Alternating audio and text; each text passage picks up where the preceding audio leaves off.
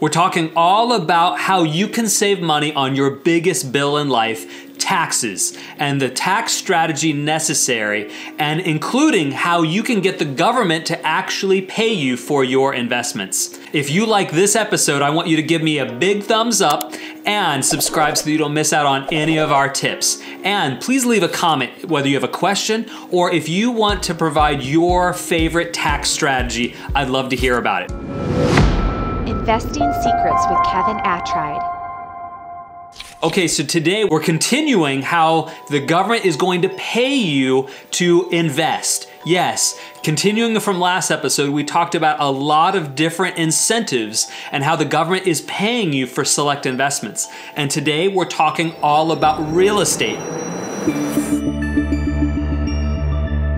Real estate is one of my favorite asset classes on how the government incentivizes you to invest. And real estate not only provides tax incentives, reduces your taxable income, but it can also provide cash flow and often monthly passive cash flow. And there are four different methods by which you can reduce your taxes. The first is reducing taxes based on expenses. Investment real estate is a business, and so you can deduct your expenses. You can deduct property taxes, insurance, property management, utilities, and a number of other different things. The list goes on and on. And you can also, harkening back to a previous episode, you can reduce things uh, such as your home office or travel or education expenses when it's appropriate for your business purpose. In addition to business deductions on expenses, you also have depreciation. Depreciation is the cost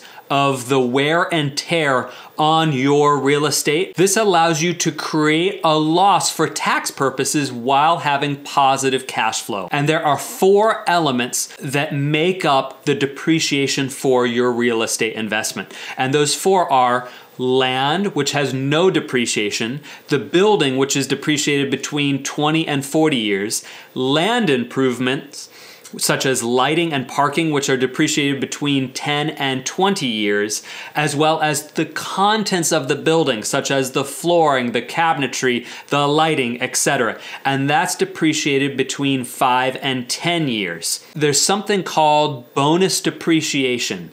And bonus depreciation allows you to take depreciation for elements of your real estate that are less than 20 years. So that's the land improvement and the contents that allows you to depreciate it in the first year when you have a cost segregation study or a cost seg. Otherwise, you'll depreciate based on land 20% that has no depreciation and the building at 80%. Stop letting the commercial banks take advantage of you. Use infinite banking to compound your savings at a much higher rate by connecting with the experts at Living Wealth. So let's walk through an example. If you were to purchase a million dollar piece of real estate, typically it would be depreciated at $20,000 per year. But if you use a cost segregation study, that first year depreciation can be as much as $312,500. So that allows you to create a tremendous loss in that first year to offset passive income losses. The next feature on real estate and how you can reduce your tax is called a like kind exchange, also called a 1031 exchange. And it allows you to defer all gains until the property is sold at some point in the future. Using this like kind exchange, it allows you to take the proceeds of the sale of one property or multiple properties and reinvest that into a new property or properties, therefore delaying the gains until the property is officially sold at some point in the future. And there is no limit to the number of exchanges that you can have on your investment property. And so it allows you to potentially continually delay gains until your death. And upon your death, there is a step up in basis of which your heirs actually get a readjustment of the market value so that there is no longer any gains. So the like kind exchange allows you to reinvest the proceeds from the sale of real estate so that the gains can be fueled and pumped into new property, therefore avoiding taxes until your death, of which your heirs don't pay any taxes. It's awesome. You're likely paying way too much of your hard earned dollars to the government. Reduce your largest expense in life by utilizing every tax saving strategy with the experts at Smeed CPA. And next is debt. Debt is a powerful instrument that allows you to ensure that you're also maximizing your tax benefits. For you see, debt is not taxed, and the interest you pay on your tax is tax deductible. And debt is powerful because it allows a greater amount of investment stretching your dollar. That further compounds some of the other elements that we've talked about, especially depreciation. So, debt and depreciation go hand in hand.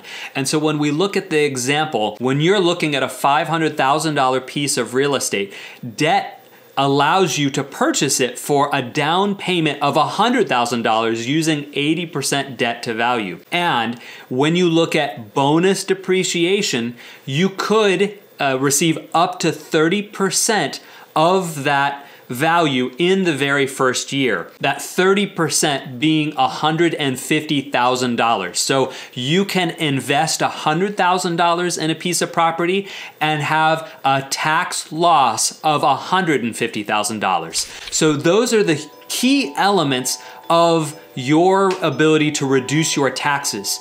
And in a future episode, we'll talk about how you can take those losses and actually use them to offset additional income.